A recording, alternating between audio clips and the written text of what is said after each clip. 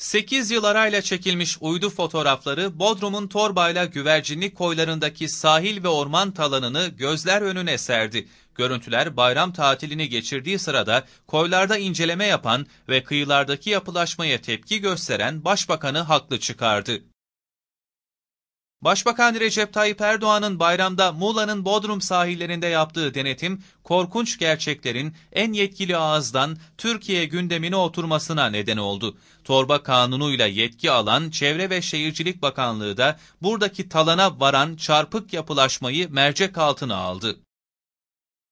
Yeni Şafak gazetesinin bugünkü sayısında yayınladığı bölgenin uydu fotoğrafları incelendiğinde özellikle güvercinlik torba kıyı şeridinde hem sahil şeridinin hem de ormanlık alanın talan edildiği bütün açıklığıyla gözler önüne seriliyor. 8 yıl önce neredeyse bir tek evin olmadığı sahil bölgesinde geçen sürenin sonunda ev yapılacak yer kalmadığı görülüyor.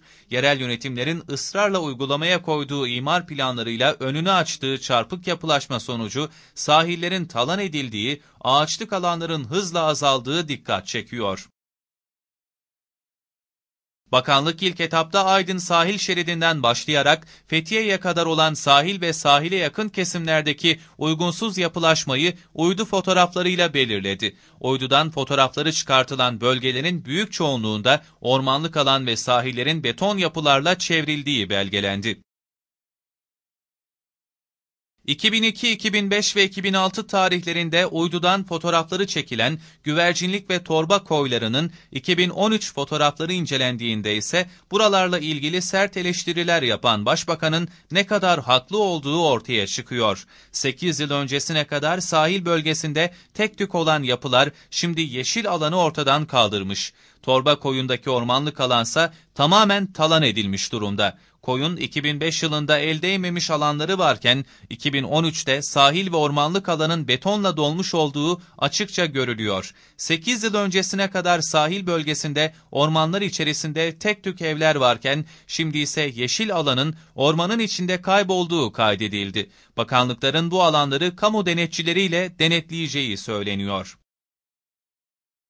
Uydu fotoğrafında görülen üçüncü alansa Bodrum'a bağlı Torba Koyu'nun başka bir kesimine ait.